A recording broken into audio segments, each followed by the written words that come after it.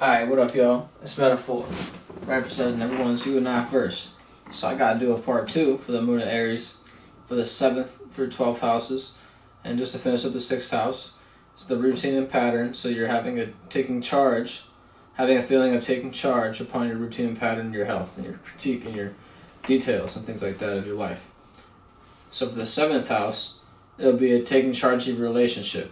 Should you continue to relate in a certain type of way, or should I show other people to relate in a certain type of way that I am and say like, okay, this is the right circumstance of how to relate and things like that. This would be for the Libra rising.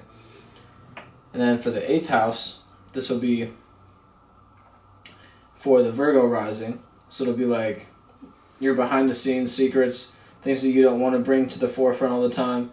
You know, you're going to be taking charge of organizing that behind the scenes secrets and things that you want to, you know, keep you know, in the closet. Like keep whatever you have in that's a skeleton in the closet. You're gonna be dealing with that and taking charge upon that.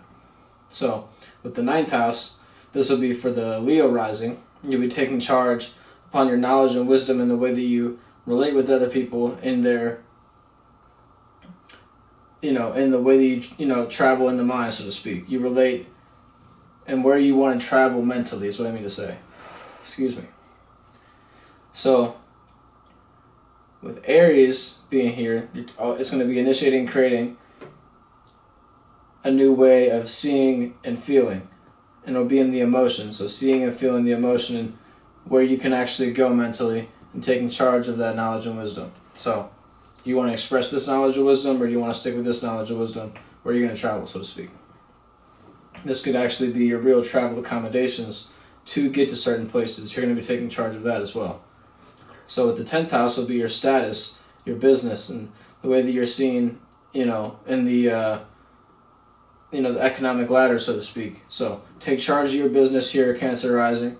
This would be for your tenth house, and the way that you go about your status. So, are you going to take charge of your status in your business, or are you kind of just going to let it fall apart and fall to the wayside because you feel moody about it? Yeah, I'm not going to go too far into it with you, so you know what I'm talking about.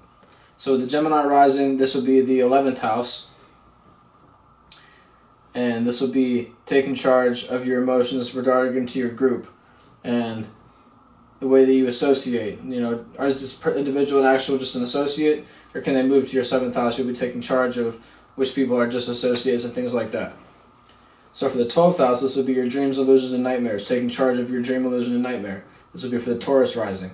So is this a dream that you can actually invest in and where you can actually, you know, whenever it comes to that, uh, you know, your first house in that Taurus rising, is this actually going to help you out personally? Is this the dream that you can invest in? Things like that. Or are you just in an illusion and it's just an illusory dream? So, yeah, peace out. It's the little part two.